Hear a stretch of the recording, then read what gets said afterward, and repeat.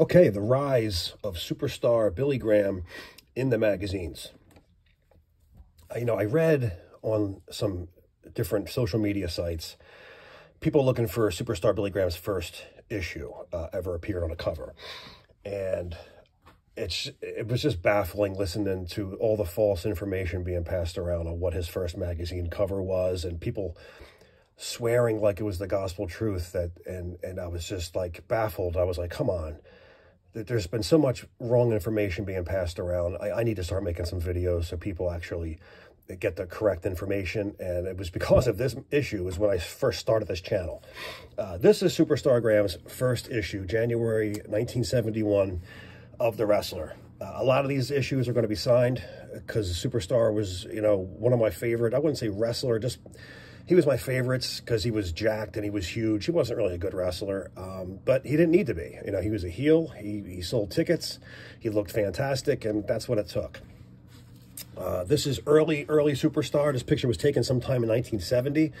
And you can notice he had he was more of like a hippie here. He has, you know, the peace signs and the tassels on the on the uh, on the boots. He's got the pair of trunks, not actually the long tights.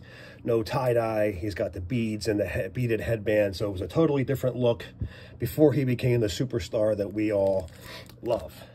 Uh, Superstar's second uh, issue March, I'm sorry, April of 1972 Inside Wrestling. And again, he's, you know, got the a robe, which he never wears a robe. And he's it's an American flag robe. He's still got the hippie look going on early uh, 72. October 72, The Wrestler. This is a match with him versus John Tolos and this is signed by Superstar. This is a match he had out in uh, in the Los Angeles area, the WWA.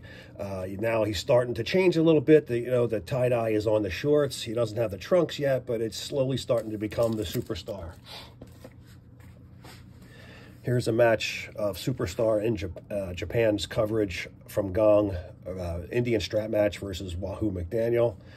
Um, there's great uh, coverage of that match in, in, this in this issue. Uh, here's another issue when uh, Superstar was in the AWA with Baron. Um, you know, I, I say it a lot, but just let me show you like what you got with the Japanese issues in 1971, 72. Um, here is a, a full poster inside of Superstar with Baron. Um, another color shot they were just they did it so good. I mean, you just couldn't beat the Japanese issues. Like you know, I can never say it enough. Uh, here's a, two-page full spread of Superstar here in full color. We just didn't see stuff like this in America. Okay, moving on. His next issue would be uh, The Wrestler, 1973. That would be his first bloodied cover. Um, this was also the issue Jack Brisco won the NWA World title. this is a uh, Inside Wrestling March of 74, and this has got Superstar Graham when he won a 24-man Battle Royal. Uh, this was a Battle Royal in Winnipeg, and he, uh, he beat the Crusher uh, for this. Now he's starting to appear on more magazines. He starts to be uh, becoming uh, more and more popular as the years go on, and becoming more and more talked about. Man, ask me today, it's it's this issue. Ask me tomorrow, it's, you know, September 77, The Wrestler, as my favorite covers. Um, I just, just an awesome shot. Now you see Superstar, he's got the full trunks. He's, you know, he's still got the, the, the beaded uh, vest, but he's got the cool glasses and he's got the physique. He's starting to be, he is now the superstar that we all knew. And uh, just a great cover. Um, this is always going to be special to me because this was one of the first I bought from uh, the back issues and sent away for it. And, uh, you know, you, you mail away a dollar or two dollars, whatever it was back then. It, it, took almost two months for you to get the issue. You just couldn't wait as a kid for this thing to show up in the in the mail. This and the September '77 issue were the two issues that I sent away for first, and so these two are always going to be my special favorites. This one's uh, also signed uh, by Superstar. Another shot of Superstar in 75. In 75 through 77, I think he was his biggest. I mean, his arms are enormous. And look at the size of his arms, like freaking tree trunks, man. It's what a great shot of him posing. It's a bloody shot of, of Superstar October Inside Wrestling 1975. Another uh, bloody shot of Superstar. Truth or rumor, is Superstar Graham quitting wrestling? Nope, he is not. Here is the uh, first look of Superstar uh, in the Northeast. This is a, a uh, program from Nassau Coliseum. Uh, he didn't appear on this card. Uh, this was just a hype program letting him know he's in the area and, and that the Superstar is on his way. This is a great cover. I've always loved this shot. This is signed uh, by Superstar Emil and, and Bruno. Um, Superstar out in Times Square, standing on top of a steel concrete uh, trash can on the corner in the city. Um, it, it, was said that he caused such a, uh, uh, a, a, whirl of people to show up that um, the, cops came and told him he had to break it up and get out or he was going to get cited with a ticket.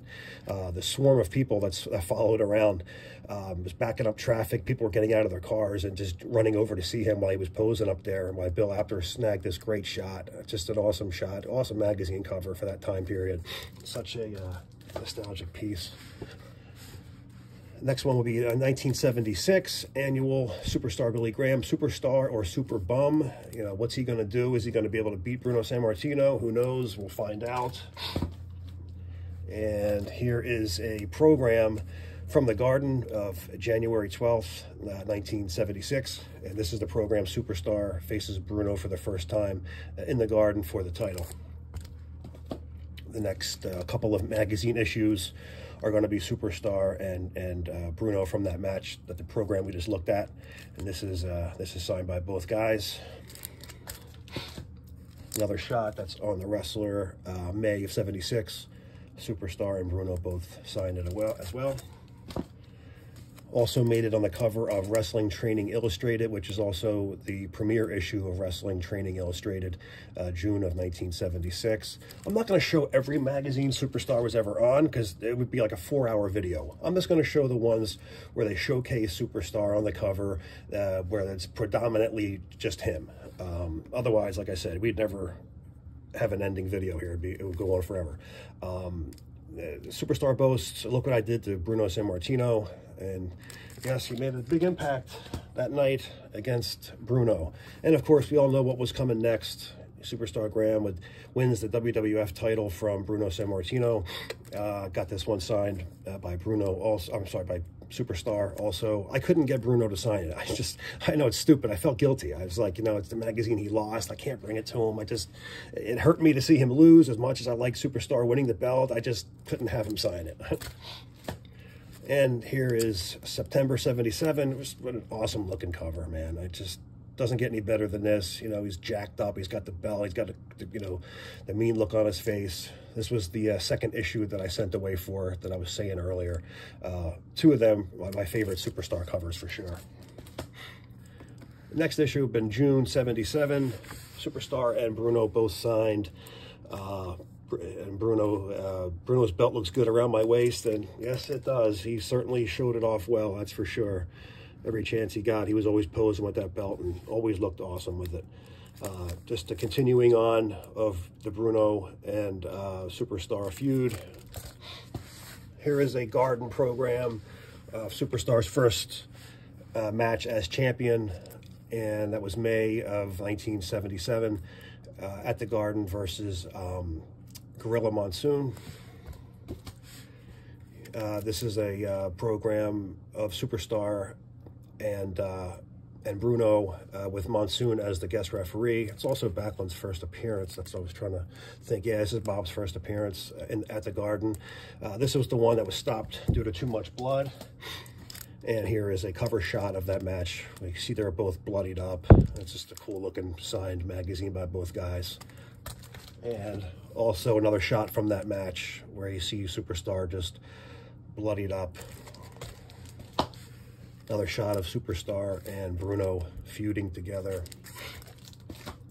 These next couple are going to be Superstar posing pretty much on the covers. and this is Wrestling Superstars, October 77. Just a great looking magazine cover.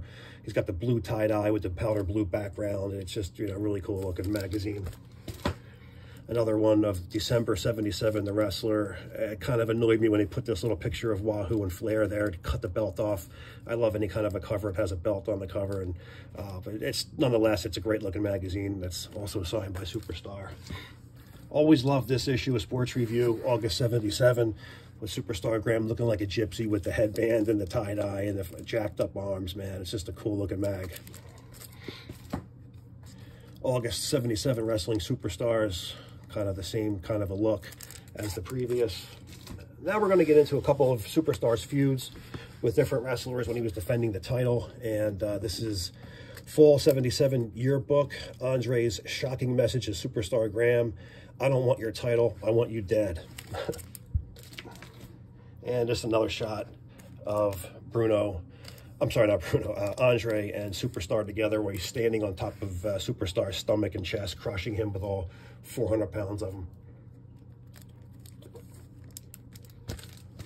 And uh, yet another shot with Andre the Giant has Andre destroyed Superstar Graham. Here we get into the Ivan Putski feud, and they had run quite a few issues, if I remember correctly. Um, this was December 77, uh, Inside Wrestling.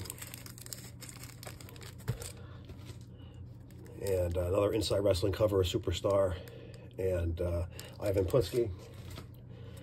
Another Inside Wrestling, November 77 with Ivan. April 79 of Sports Review with Ivan. Wrestling's Greatest Battles. It's uh, spring of 78 with Ivan. Winter 78. Uh, I believe this is the last issue with uh, Putski with, with that feud. Here we got uh, Superstar Graham on March of 78 uh, facing Peter Maivia. Wrestling Yearbook 1977, uh, and it shows all three world champions on the cover with their belts. it's a great photo. I used to love these uh, th three champion covers, and I never had got a chance to meet Nick Bockwinkel, so I never got it signed by Nick. But uh, this would be the uh, the beginning look of Superstar and Harley uh, getting ready to face off. And here it is, the Super Bowl of Wrestling, Superstar Graham, Harley Race, NWA versus WWWF. This is signed by Superstar Harley and also Bruno at the bottom.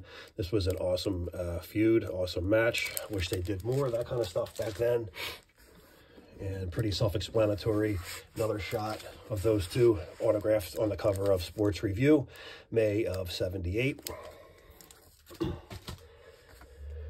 Another issue of May of 78, Inside Wrestling, and signed by both guys. And uh, the uh, Superstar's got a full bloody shot on the cover.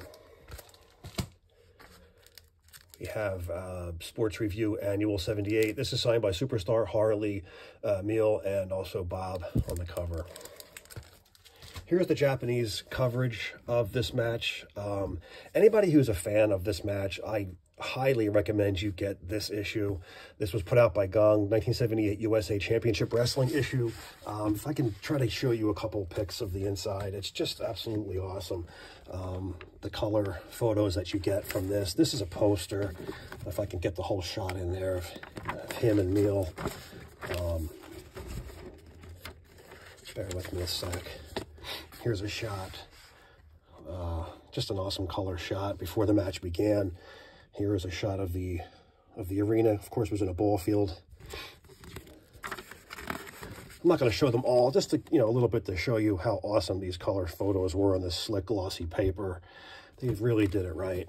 Nothing like this was released for our U.S. fans here. It's just an incredible shot. I mean, that could have been a poster. It's Harley in the back, uh, backbreaker. Harley Race getting the first fall. Another great shot. This could be also be a poster. I mean, look at that close-up. Just awesome. Uh, showing maybe one or two more. Here's a Superstar, a great bloody shot, almost like the cover we just saw a few minutes ago. Um, Superstar getting suplex. What an awesome shot that is. Just incredible. I, I, I can't say enough about the Japanese coverage. Wow, I forgot about this picture in here. Superstar holding the belt up at the end of the match. Nice color shot. Nice bloody shot of Superstar. Harley standing over him. I'll just show uh, one more. Here's Harley.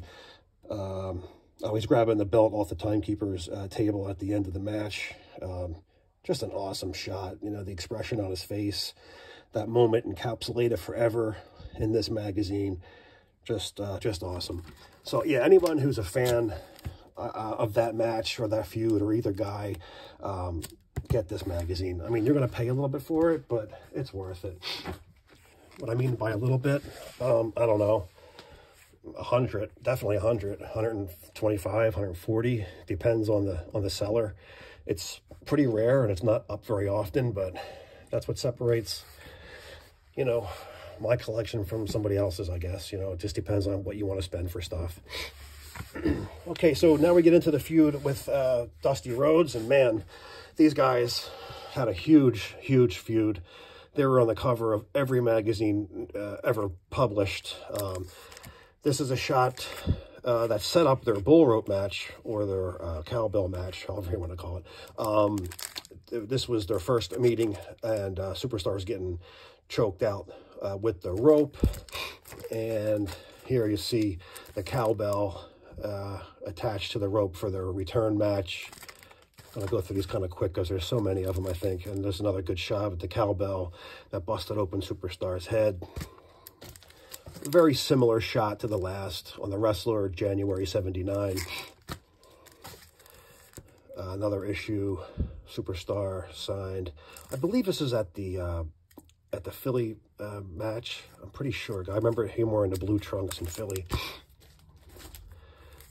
Superstar and Dusty again on the Wrestling Picture Book, summer of 78. And this one, could you imagine, you know, living in another state, say, you know, out in the mid-Atlantic, and you go to the newsstand and see this, and you think Dusty Rhodes won the WWF title, and he, he didn't. Uh, what a great shot. I mean, the fan runs into the ring for uh, literally three seconds and hugs Dusty, and it looks like, you know, he belongs with him. You know, he's, he's got the cigarette hanging off of his lip. And that, that, that, three seconds he's in the ring, he's encapsulated forever on the cover of a magazine, hugging Dusty Rhodes with the belt. I mean, wow, what a lucky dude. And Wrestling Yearbook, another shot of Superstar and Dusty. Wow, I didn't realize it was this many. Uh, another one signed by Superstar. And that's that's it for that feud. Christ. Um, this is, I think he has had a couple of house shows with uh, Tony Garea defending the title. This is Spring of 78 Wrestling Picture Book. This is uh, Wrestling Greatest Battles, Fall 77 with Garea. Uh, this gets us into, towards the end, uh, his feud with Mascaras was towards the end of his run as champion, and uh, this has got some uh, great coverage of it in this issue. Like I showed you all the color before. There's no different in the, uh, any of these issues. They're all color, and they're all great, great magazines. Um, here's a shot of those two wrestling on the cover of Gong, February 1978. And the American coverage of Best of the Wrestler, and that's winter, excuse me, winter 80. And the Wrestler, April 78.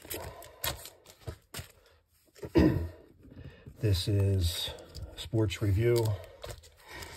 Greatest Battles. I always like this. He's trying to take Mil's mask off, and I remember always trying to get a closer look to see if I could see anything that resembled any kind of a person, but never could. Uh, that's Summer 79, Greatest Battles and we get into Superstar losing the title. Uh, I don't. I didn't bring any of those out because I. It's depressing. I don't like when Backlund became champion. Nothing against Backlund. He was a great wrestler. I just wasn't my wasn't my choice for a, a world champion, especially for the Northeast. You know, we kind of like a different kind of a guy up here, and uh, you know, Bob really just, you know, didn't really get over that great with the fans up here. Um, but, I mean, nothing against him. The guy had some fantastic matches, especially in the early 80s, man. He had some awesome battles. But uh, this would be his uh, first cage match with Superstar. Trying to win his title back. And this has also got the color coverage of it in the issue of Gong, June of 78. And uh, this was from the Philly Spectrum. Here he is now since lost the title and move, moving on. This will be May 79 with his uh, brother Crazy Luke. That's also signed by Superstar. Kind of looking like Jesse Ventura here with the uh, three quarters of the bald head with the uh, with the beard now. And uh, this is signed on a cover of June 80 of Sports Review. Now with the fully headed, shaved head against uh, Bruno Sammartino for a uh, old feud rekindled, and that was happening down in Houston.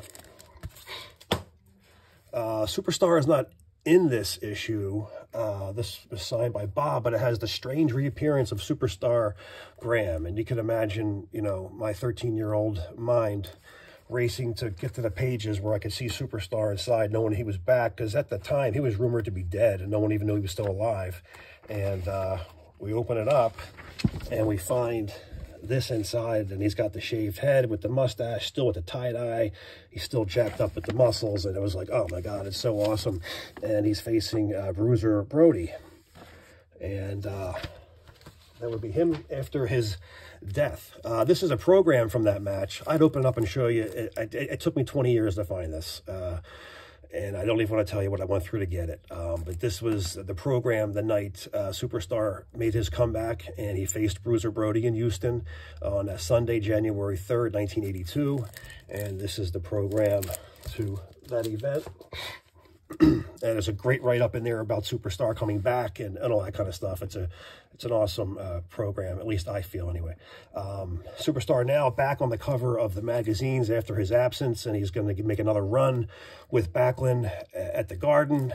And this is his first full cover. Uh, not really digging that mustache and the karate gimmick uh, at all, but, you know, it's Superstar. So in a way, you know, it's kind of still drawn to the guy.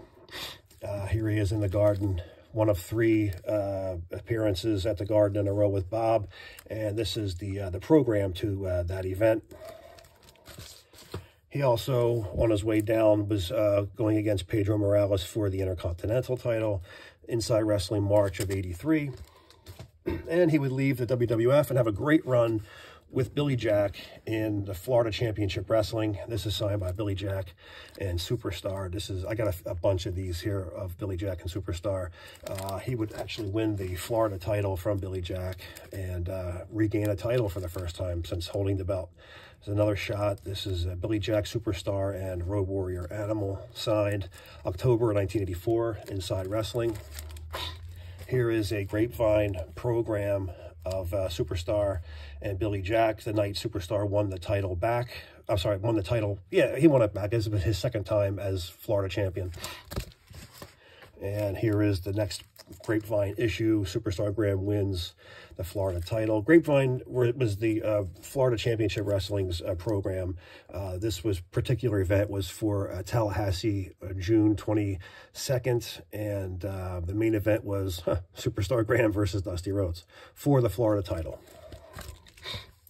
Superstar had a great feud with Billy Jack, and they had, had some arm wrestling competitions, and this is another grapevine of just Superstar and, and Billy in 84. Billy Jack after the Florida title. And this was another grapevine with some stories of Superstar and Billy Jack. And once again, with Billy Jack. So you see Superstars back on the cover a lot. Um, it was a great feud, a great bloody feud down in Florida, and it sold a lot of magazines. Um, yet another shot of Superstar. Here's Superstar on a, on cover of a Canadian uh, Wrestling uh, Federation uh, in Canada. Um, yeah, okay, we're getting to the end of the line. I thought I had a few more, but um, this is a grapevine uh, when Superstar ditched the karate uniform and uh, broke back all the color and the tie-dye. And this is another grapevine issue from uh, Championship Wrestling from Florida. And this actually, I'm sorry, this is, yeah, this is a program with him versus the Purple Haze. And here he is on the cover of Championship Wrestling uh, with a bloodied Purple Haze who is Mark Lewin, by the way. And this is uh, Superstar. They're talking about, I think I have a lot of wrestling magazines from my collection. You should see my movie collection. I have just under 8,000 films on every format imaginable from beta DVD, VCD, uh, mini DVD, um, you name it, I have it, Laserdisc. And uh, I knew about Superstar becoming uh, an actor for the first time, and he was going to be in a movie called Zombie Nightmare. And the movie was released, but Superstar was never in it. And I never heard anything about it. When I bought Zombie Nightmare on Blu-ray a number of years ago, the extra uh, credits uh, on the bonus features uh, the director was talking that I had this wrestler, superstar Billy Graham, who was going to play the part of uh, the zombie. And in this magazine is all behind the scenes of him getting in his costume made and the mask. And he went through the pour of the cast for his mask that he was going to be wearing. And uh, when it came time for shooting, the guy says I was all smoked up with, with some dope and I totally forgot. I, I passed out and left Superstar Graham sitting in the airport. So he said, you know, I never had any contact with him again. I guess he just got the next flight and left because when we got to the airport, they said, you know, there was a guy here and he left and he got on another flight and took off. And uh, he never made the movie, so he left Superstar sitting in the airport, which was, uh, I thought was funny. But um, so he never was, never made it into a film. He actually did make it onto a film, one called uh, Fist Fighter and he is a uh, he's an arm wrestling champion and he was arm wrestling the star of the movie uh, in some bar scene. So I think that was like his only film he was ever in, was just a five minute scene where he got beat up uh, when he was arm wrestling. And uh, Superstar's final issue uh, ever appearing on a cover was in January 1988. This is a back locker room shot after the match of Superstar Graham versus uh, Johnny Rodz. This took place in the Bronx, New York, in the South Bronx. And if anyone knows about the South Bronx up here, it is a heavily Puerto Rican Latin area. And a superstar said that uh, the Puerto Ricans were in wild fury that night. And whenever I would hit Rodz or beat up on Rodz, they were throwing shit at me. They were booing the hell out of me.